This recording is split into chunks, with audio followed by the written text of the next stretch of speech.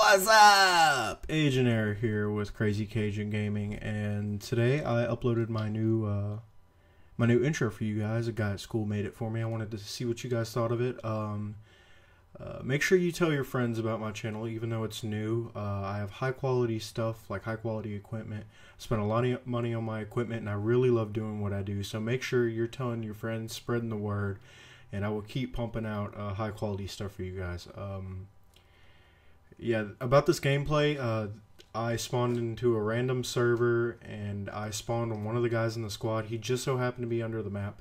I was not using it as an exploit or getting any kills from it, so don't freak out. It was uh, it was just a, a blank field of nothing. So I wasn't uh, it was not benefiting me any, so I was not uh, using it as a glitch. Therefore, I cannot be banned. I was not doing anything wrong. I spawned there, and once I realized there was nothing to do, I eventually killed myself and got back into the action. Um, I covered up the name so he wouldn't get in trouble, and I wouldn't get in trouble. I didn't mean to to do anything. It's just blank filler. But uh, make sure to tell your friends uh, about my channel, and so we can spread the word, make it bigger so I can keep doing the stuff I love and keep pumping out high quality stuff for you guys. It has been Agent Air with Crazy Cajun Gaming.